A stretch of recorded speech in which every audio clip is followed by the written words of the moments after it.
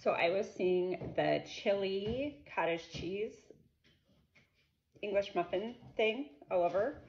And I was not a super fan of the chili sauce. So I wanted to try a different version because I didn't love the chili oil. So, cottage cheese.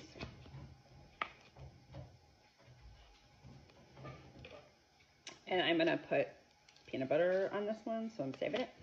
But I have this Kinder's Parmesan Herb Crunch. So we're gonna do a little bit of that instead of the chili crunch.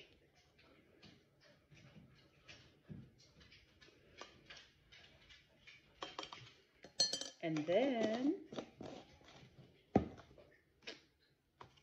Costco balsamic glaze.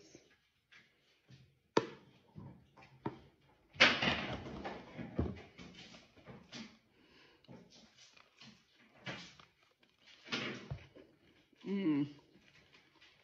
I like it better.